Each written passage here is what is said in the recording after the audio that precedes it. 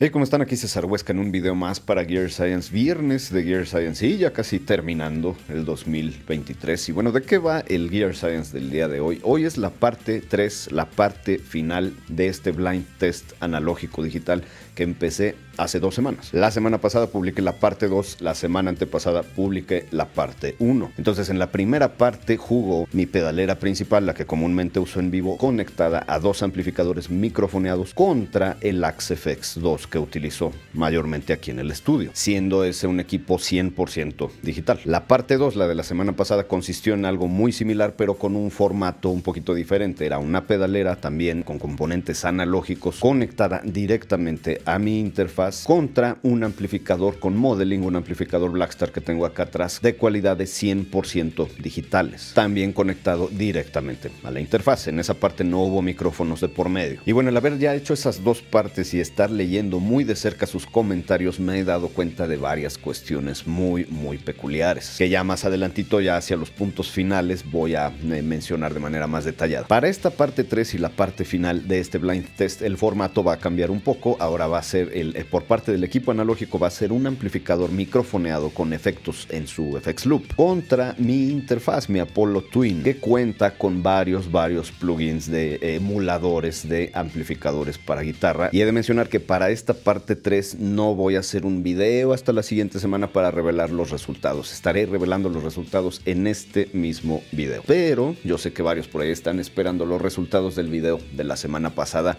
así que vamos primero para allá. Regreso en unos minutos. Bien amigos, ha llegado la hora de revelar los resultados del video de la semana pasada, la parte 2 de este blind test. Por aquí está mi guitarra Schecter, ahí está saliendo el cable, cable bastante largo. Entra a la caja B, ya lo saben, línea A hacia el rig A, línea B hacia el rig B. Vamos a empezar con la A. ¿A dónde nos llevaba?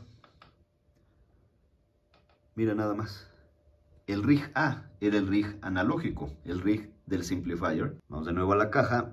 Línea B se fue por allá y entró al amplificador Blackstar y Core. Esto era el rig digital, el rig B. Para el caso de los sonidos del rig A, el sonido limpio fue el canal limpio del simplifier con su reverb activado y un poco de delay aquí en el micropitch. El sonido limpio ha sido una emulación de un ampli box. Ahí ven el switch hacia arriba, posicionado en AC Brit.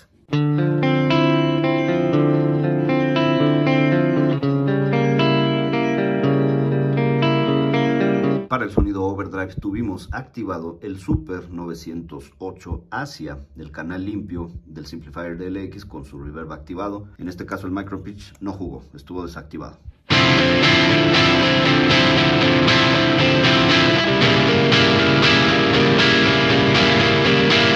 Para el sonido crunch, el sonido distorsionado, tuvimos únicamente el canal distorsionado del Simplifier DLX puesto el switch ahí en la posición MS Brit, que es la emulación de un sonido Marshall. En este caso no hubo el reverb del simplifier activado y no hubo nada de proceso por parte del micropitch.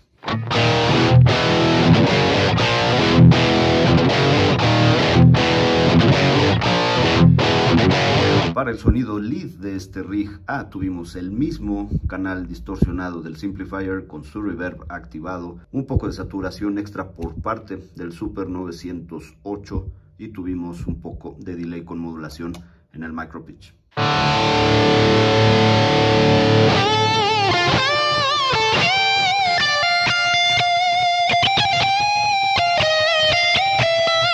Para los ejemplos de sonido del rig B, que fue el rig digital, que fue mi Ampli Blackstar, tuvimos en el sonido limpio un sonido clean warm, como lo menciona de este lado, con un poco de modulación, un poco de delay y un poco de reverb.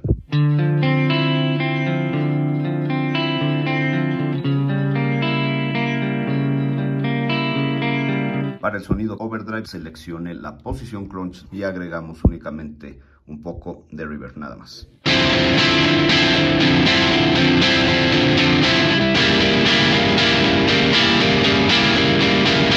Para el sonido crunch seleccione la posición super crunch y dejamos desactivados los efectos completamente.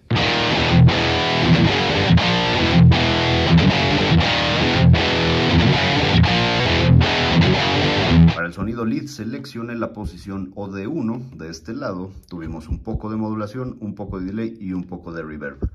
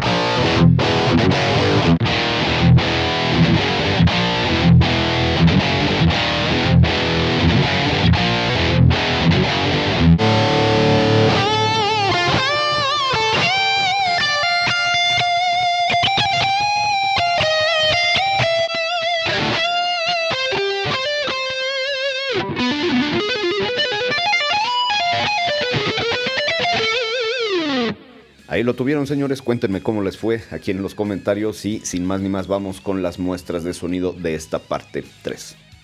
Esto es un amplificador físico, un amplificador analógico. Es un HT Club 40 Vintage Pro de la marca Blackstar, un amplificador con una etapa de preamp a bulbos, una etapa de power amp a bulbos y una bocina. Para las muestras de sonido que corresponden a este amplificador vamos a tener un delay conectado en el loop. Esto es mi interfaz, es una Apollo Twin de la marca Universal Audio, la cual contiene varias emulaciones de amplificadores para guitarra, entre muchas otras cosas. Esto es software completamente y voy a estar utilizando esta emulación de un amplificador Friedman BE100. He de mencionar que este Friedman cuenta con un delay, el cual van a estar escuchando en algunos ejemplos. Así que aquí los tienen, rig analógico, rig digital. Pues bien, camaradas, vamos a empezar con los sonidos limpios. Esto va a ser el rig A, sonido limpio con un poquito de delay. Escúchenlo.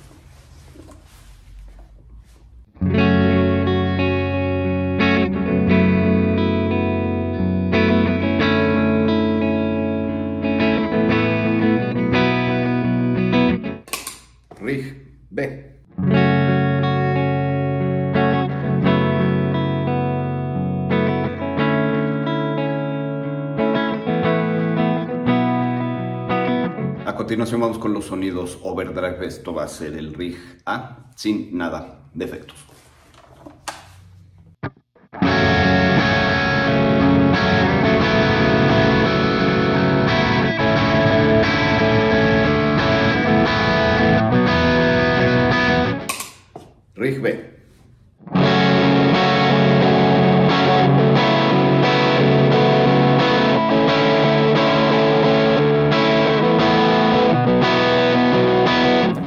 Los sonidos crunch, los sonidos distorsionados. Esto es el rig A. Escuchen.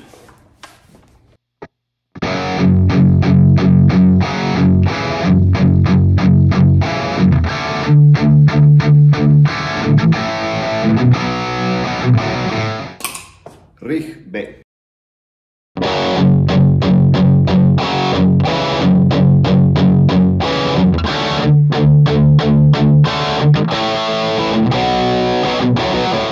último vamos con los sonidos lead que van a ser en esencia los mismos sonidos crunch pero ahora con un poco de delay agregado. Escuchen, esto es el rig A.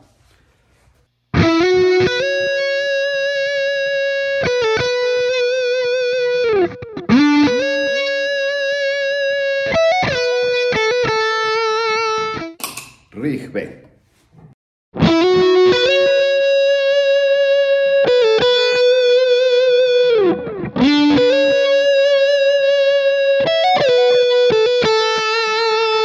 camaradas, ¿qué onda? ¿Ya hicieron sus apuestas? ¿Creen que van a acertar en esta parte 3? ¿Les fue más fácil que la parte 1 y la parte 2? ¿Más difícil que la parte 1-2? No lo sé. No se preocupen, no voy a revelar los resultados. Hasta la otra semana se van a enterar en este preciso momento.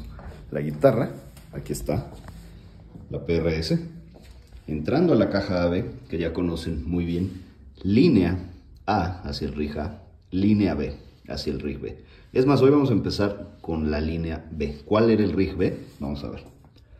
No pierdan de vista el cable, de abusados ahí.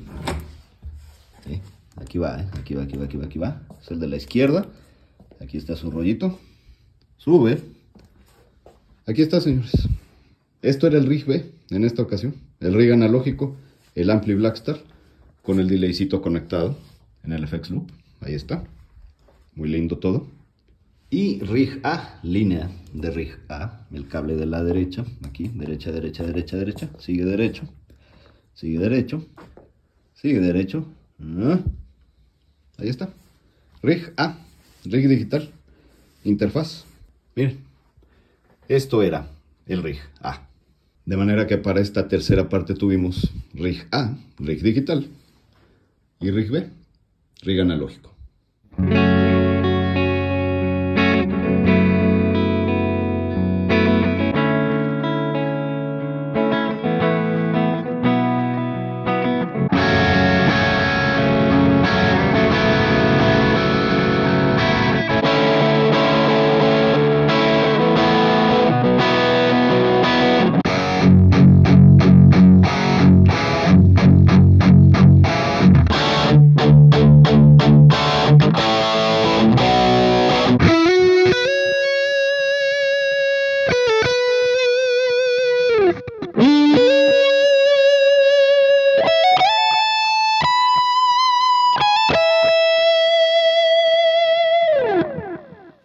Y es así como concluye este blind test analógico digital con esta tercera parte. Ustedes vieron, ustedes escucharon, ustedes deciden si se siguen peleando y siguen con ese diálogo interno de qué es mejor, digital o analógico. No dejen de ver el video, les recomiendo escuchar estos últimos puntos a continuación, muy importantes. Y pues darnos cuenta, ¿no? Nosotros como guitarristas, como músicos en casi ya 2024, ¿ante qué estamos? O sea, ¿qué es lo que tenemos actualmente enfrente, ¿no? Y en sí estos puntos eh, a continuación pues vienen derivados de lo que recopilé en varios de los comentarios que ustedes pusieron en los videos anteriores. Y arrancaré mencionando algo de lo más relevante o que distinguí por ahí. Y es que la pedalboard principal conectada a microfoneados fue más fácilmente identificable por la sensación de aire o sensación de espacio o de room que varios mencionaron por ahí. Y precisamente esa sensación de más aire o de más espacio o de más room percibido en el sonido es justamente obra del micrófono y por ende pues del cuarto en el que se encuentra el aparato. Y he de decir señores que ese, ese factor precisamente de una bocina moviendo aire y siendo eso captado por un micrófono es lo que ni siquiera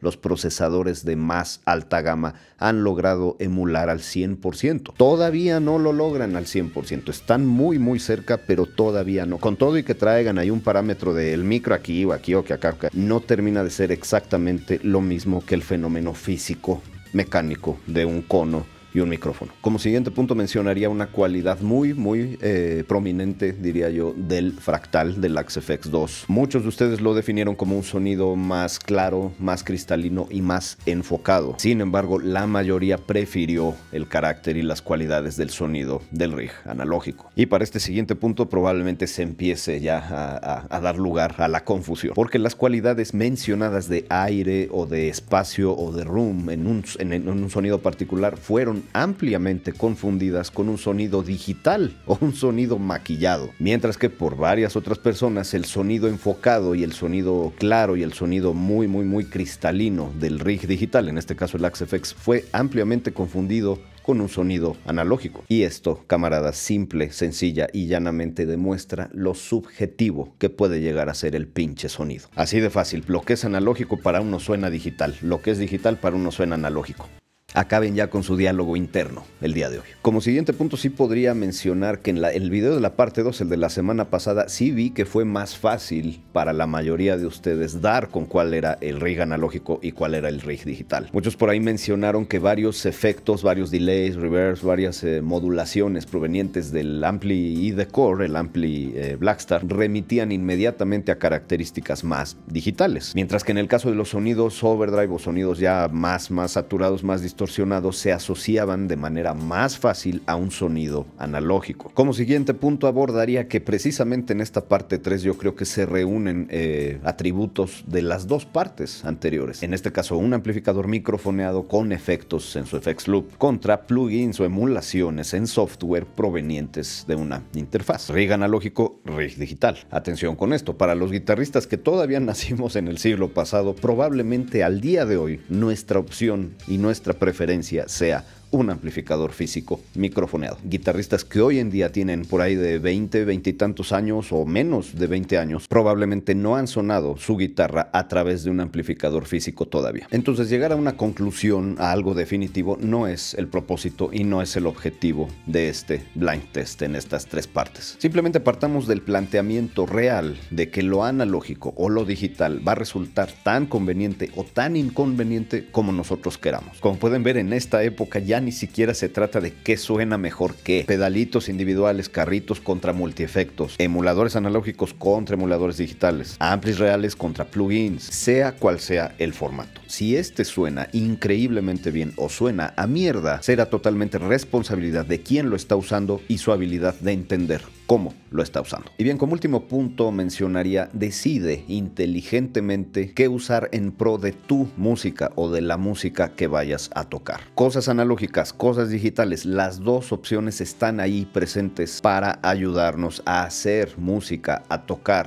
música. Edúquense, infórmense y manténganse siempre inspirados y vayan siempre sobre lo que funcionará para ustedes y su crecimiento como músicos. No olviden que muchas veces lo práctico es eso, es práctico. Y algo que es práctico no siempre es la mejor opción. Tampoco olviden que los equipos económicos existen primordialmente para ahorrar dinero, pero ahorrar dinero no siempre conlleva obtener los resultados esperados. ¿Lo barato sale caro? Mi respuesta basada en más de 20 años de experiencia, sí lo barato siempre sale caro, casi siempre. ¿Esto significa que entonces hay que adquirir el equipo más costoso y más caro? No, significa que antes de comprar lo que sea hay que estar informado y hacer labor de investigación. Así sabrán siempre distinguir entre estar gastando su dinero en equipo o estar invirtiendo su dinero en equipo.